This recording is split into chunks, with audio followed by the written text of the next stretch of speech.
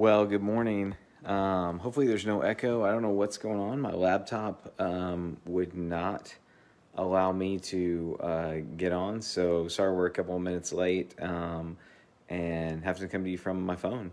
But um, it's good to be with everybody this morning. Good to see you all, um, and just on this Monday, um, Monday after Mother's Day. Hopefully, yesterday you had just an awesome time celebrating. I know we did um, celebrating Lynn and just spending some time uh, together as a family was just awesome and um, needed. If I'm being truthful with you, um, because I don't know how you're feeling during the season. It's weird.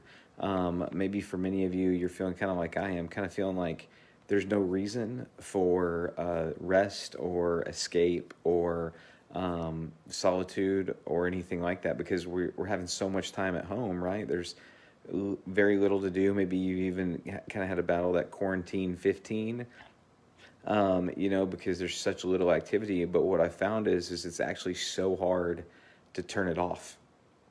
And I find myself thinking I can do more, I can push harder, I can get through just a little bit um, more. And in that, the, there's always this uh, for lack of a better term, we're always chasing that white rabbit, right? In in Alice in Wonderland, or there's always a carrot dangling in front of us that if we can just get one more thing done, if we can just get this last email sent, if we can just get this last home project, if I can just hang one more picture, if we can um, just work a little bit longer, can I just have 15 more minutes that actually you go into a black hole and it's an hour later, right? And so then we get to this point where we're actually not Sabbathing, we're not solitude. We are uh, just numbed out. And we've reached this point where uh, actually maybe you feel like, man, the, the week is just starting, or one week is rolling into the next, and you're just kind of like, when will this end? And subtly, subtly, what has happened is we've just placed so much trust and faith in ourselves and systems in figuring out what can I do uh, to control or to find myself some sort of identity or rhythm, or maybe even that, like it's been exposed that your God is rhythm. And so this morning I was reading, and it says this in Psalm 146, which I encourage you if you're trying to find a, a way to get connected, a way to get into the Bible, a way to um, begin kind of this rhythm of spending time with Jesus, because ultimately, like the the devotional life, our time that we spend in the Word, is not based on uh, making God happy. Like God, is, God knows who He is. He knows who we are. He can speak to our hearts at any time. He is abundantly near. The our time in the Word is actually a time for us to learn about Him.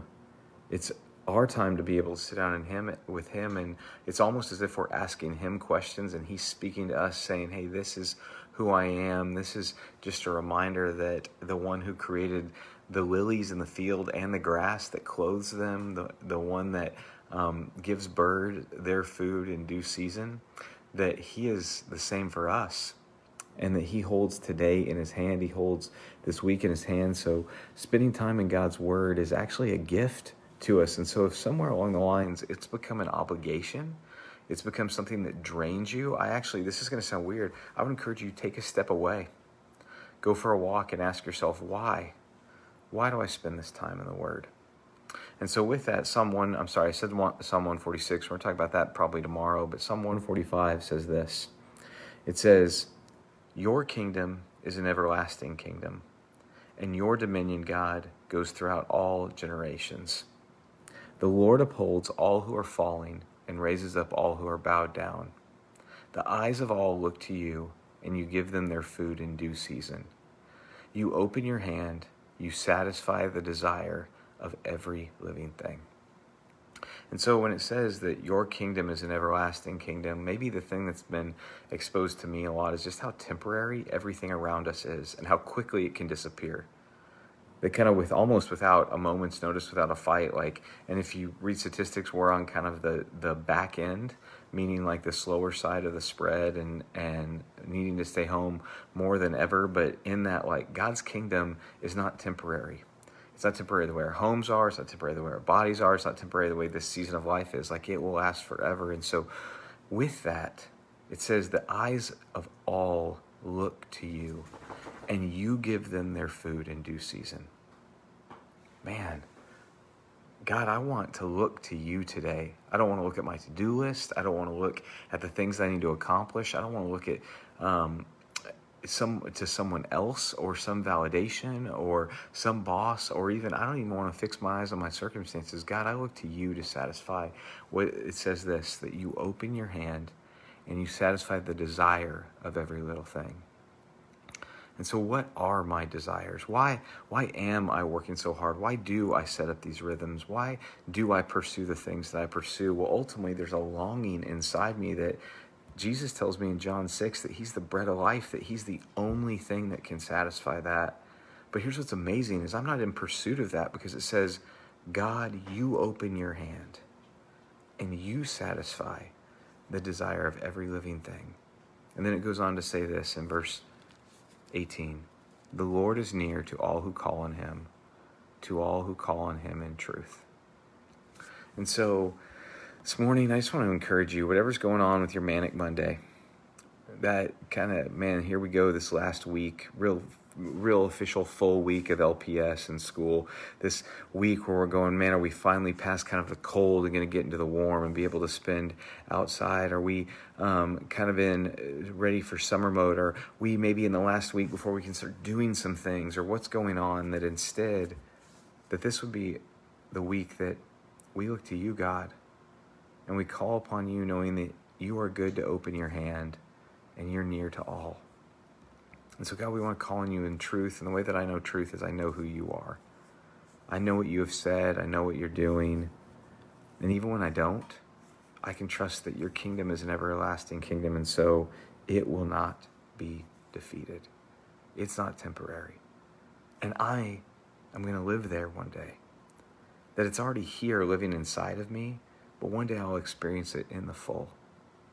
So, with that, I'm going to pray for us. I ask that you would pray the same for me. Just that gentle reminder that God still sits on a throne. And that throne is in my heart.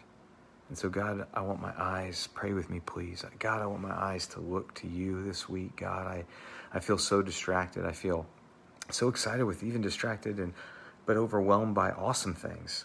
The conclusion of school and graduation from seminary this week, the ways that you're moving in our family, the opportunities you're given, the celebration of Abby's birthday coming up, the way that our church is growing, the unbelievable positive response to um, just your uh, our gatherings online, God, and all this going on, and all this um, seems to be so successful, but the enemy would seek to distort it and making us think, how can we do more?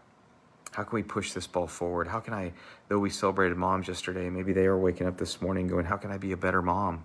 I need to do more. Maybe there's dads that are wondering, Did I do enough? Or how did I fail yet again yesterday? Maybe there are singles out there going, Man, I'm so glad that day's behind me, but I don't want to experience another Mother's Day without somebody. Or maybe there's empty nesters that are struggling with, God, what do how do we handle this week? I just can't take being isolated anymore, God. There's so many pressures from so many different angles because you've made us so uniquely.